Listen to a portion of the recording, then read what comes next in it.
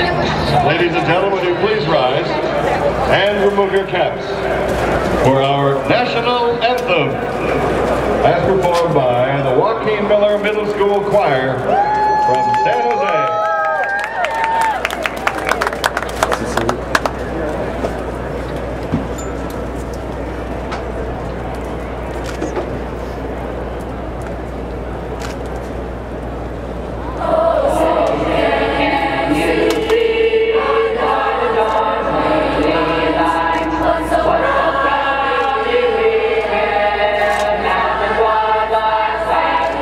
day.